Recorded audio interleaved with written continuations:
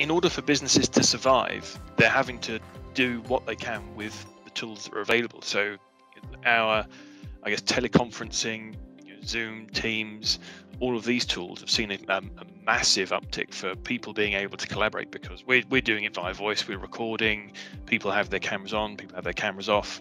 It's that, uh, I guess, face-to-face interaction in the office those that that, that face-to-face interaction i think is far more important than people estimate so where you previously would have had everyone in a meeting room um, and there are lots of blue chip companies that weren't really embracing hot desking and the whole remote working initiative you, you, had to be in the office uh, but they're all now being forced to move online to these providers if they want their businesses and their projects to succeed. So I think it's forced the hands of a lot of people that wouldn't historically have done it.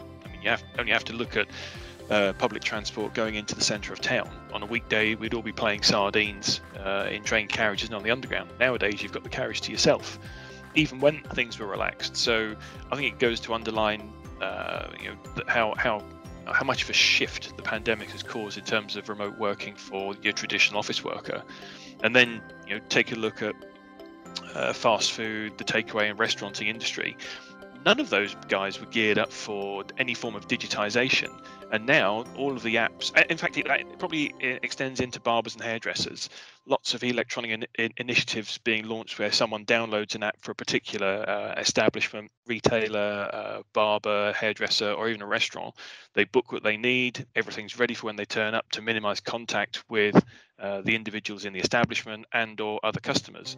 So I think you see it's it's odd to look at the pandemic and its impacts for your average business, but areas of life where you wouldn't ordinarily have anticipated digitization taking place, it's had a massive impact. And I think technology vendors have really stepped up to the plate combined with some really uh, innovative individuals to help with uh, digitizing. You know, I'm going to go and get a haircut, or I'm going to go and uh, get a takeaway. You only have to look at uh, the amount of Uber Eats drivers that are now on our streets, delivering from a vast array of, of takeaways, and that that now extends into you know uh, much more retail, hairdressing. Um, I'm going to go and get a beer, and, and, people can do that virtually too. It's uh, it's astonishing how how things have transformed so rapidly.